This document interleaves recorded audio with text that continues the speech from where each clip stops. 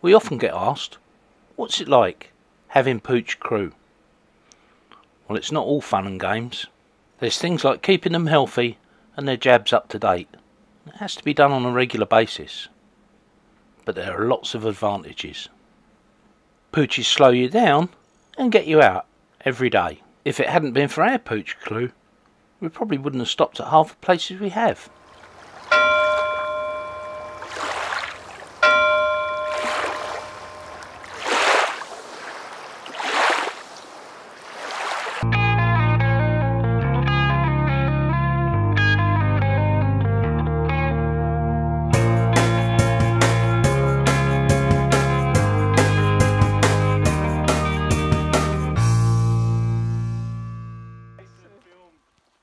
Ryan and Brittany from Sailing Sunday organised to have a vet come down and see some of their animals.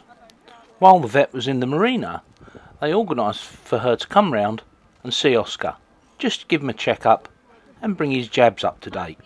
There's a link to Sailing Sunday in the description. Go and check them out. They do some great work with animals. I thought I was going to spank you. Oscar's quite an old soldier. He's 15 in May. Normally Patterdales don't last this long. Who's that? You meant to just. Oh, that's a good shot. Excited and he will You know what? listen I'm to not going to film you because you're not going to be happy and we don't want that on camera. So I'm going to put the camera away when Who's we do gonna this. cry okay, buddy? first? Yep. Right. I know you know where that's going. Oscar's usually pretty good, but well, he doesn't like injections. So we sat with him and bribed him with a few doggy treats. So much like us, Oscar has his own passport. He was fully inoculated before we left the UK. It was time for his rabies booster. What a handsome chap. Proper passport photo. So back in the UK, it cost us about £170 to have all his injections done and an extra £100 for his passport to be issued. But now he's all up to date, with all three injections being given at once. And the vet left us a card just in case there are any problems. Oh, and the cost? Just 50 euros. And the very next day, he was out dragging us round for a walkies. This is the fishing harbour. You can tell it's a fishing harbour by all the fishing boxes that have been cast aside.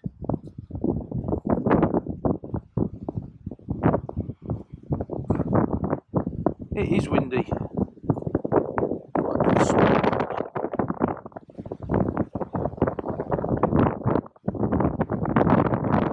Fish farm over there. More cormorants.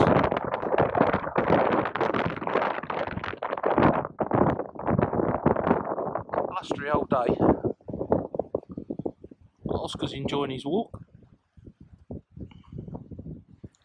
going to walk up to the end and see what's up there. The old harbour wall, there's a funny building. Not quite sure what it is, but it looks military. This is the view right from the end of the harbour wall, looking west. Now the wind's roughly west or southwest, and so the waves are breaking over the top of the wall. The wall's about 50 feet high, so you can imagine what size the waves are the other side of that wall. Probably a good three and a half metres, 10, 12 foot, something like that. So as I turn the camera, you can see that there's the fishing fleet in there. And that's the uh, fort that we climbed up to a couple of videos ago. Really doesn't look that windy, but I can assure you that the soundtrack was completely ruined by the wind. But we were only filming on our little camera, as we hadn't really planned to take any video. At the end of the breakwater, we found this place.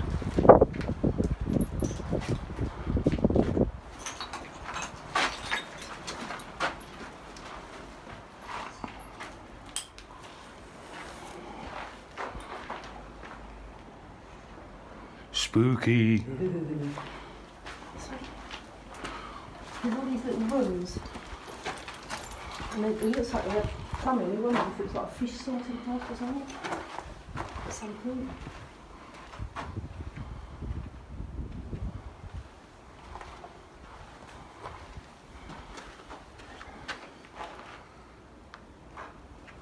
I think these are like shower rooms because there's water pipes up there. Yeah.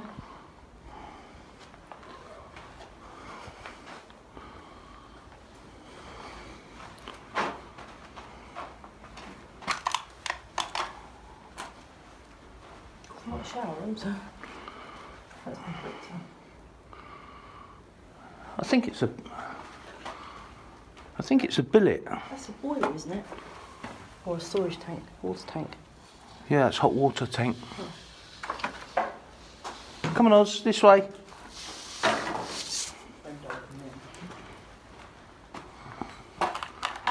I think it's military.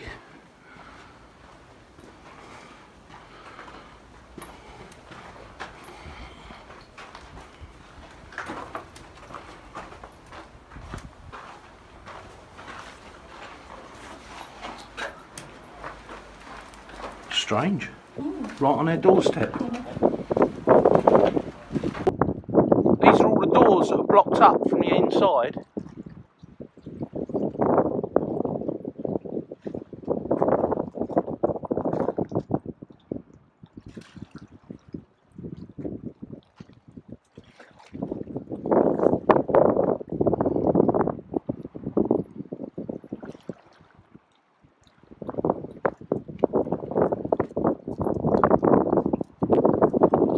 What makes me think it's military is it's massively reinforced on the, on the roof.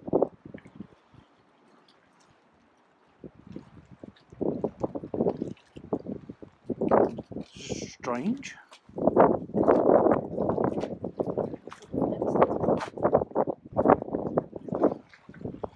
Rubbish everywhere.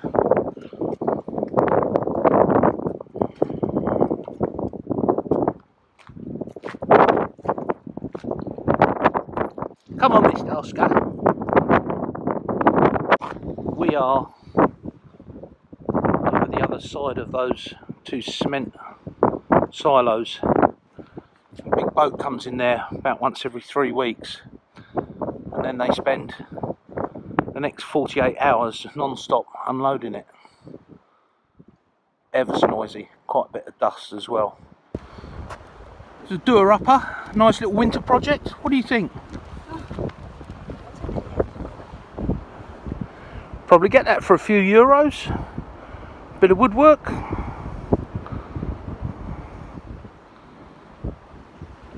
What do you reckon? That's once somebody's private Enjoy, yeah.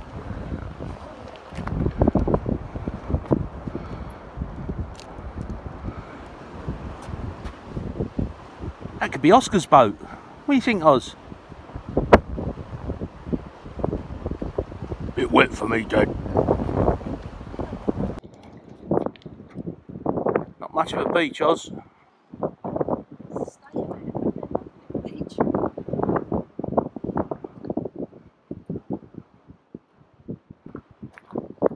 I would say probably 90% of that is plastic from the fishing fleet.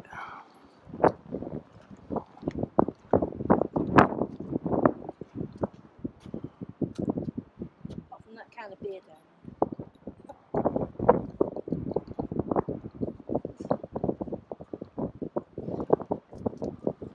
If we did a beach clean here, we'd be here for weeks.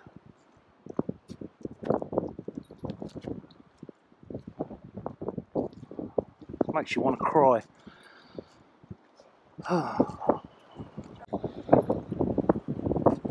yeah, these these plastic the fishing fishing boxes are just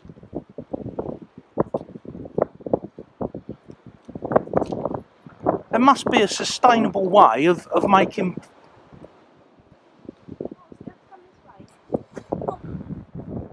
come on mate you've got to come this way come on this way good boy come on come on hey not bad for a 15 year old dog. As we rounded the corner again, the wind got really bad. I felt a song coming on.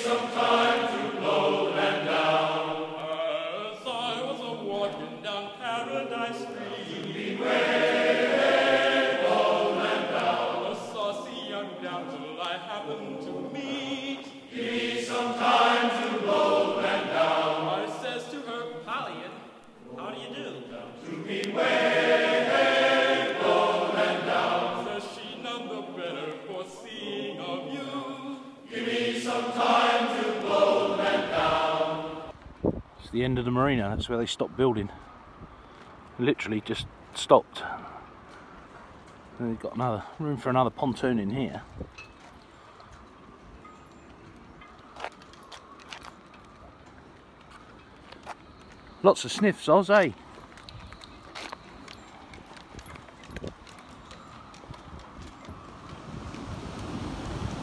So having a pooch crew does mean that you have to go ashore at least once a day, sometimes twice.